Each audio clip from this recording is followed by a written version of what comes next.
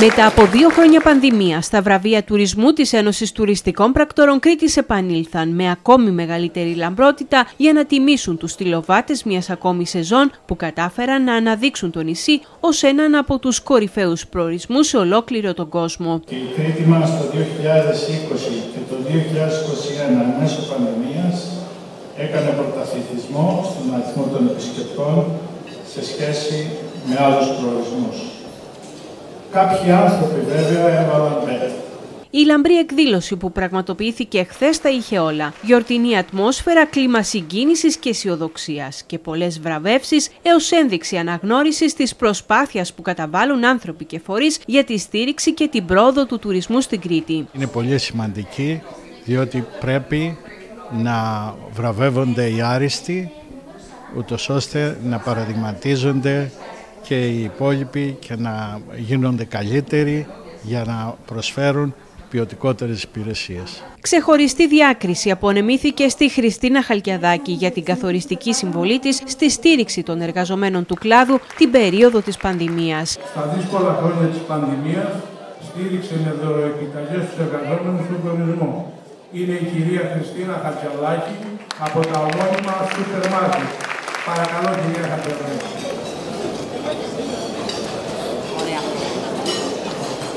Εγώ υποκλίνομαι στον τουρισμό που μας έχει κάνει περήφανος κάθε χρόνο και στα δύσκολα και στα εύκολα και πάντα θα πηγαίνουμε χέρι-χέρι. Από τον Όμιλο Κρήτη TV, ο κύριος Μάνος Δασκαλάκης.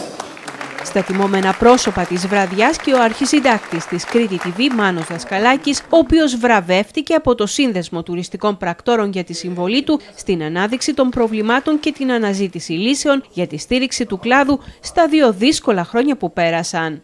Ευχαριστώ θερμά τους τουριστικούς πράκτορες της Κρήτης, τον κύριο Βλατάκη προσωπικά για αυτή την τιμητική διάκριση και στο πρόσωπό μου, αλλά κυρίως στο νόμιλο της Κρήτη TV. Ένα κανάλι που από τα πρώτα χρόνια της ζωής του στάθηκε στο πλευρό των τουριστικών παραγόντων. Η τουριστική μας βιομηχανία αποτελεί έναν από τους βασικούς πυλώνες της ε, τοπικής οικονομίας και όχι μόνο.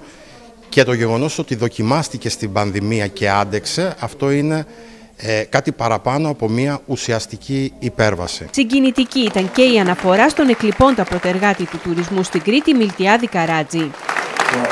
Πρόσωπα της βραδιάς υπήρξαν ωστόσο οι κορυφαίοι εργαζόμενοι των τουριστικών γραφείων της Κρήτης, οι οποίοι τιμήθηκαν για όσα προσέφεραν, αλλά και το παράδειγμα το οποίο θέτουν. Μέρος των ευρωδοτών σας, κάνω μια υπόκληση και σας ευχαριστούμε από καρδιά σας.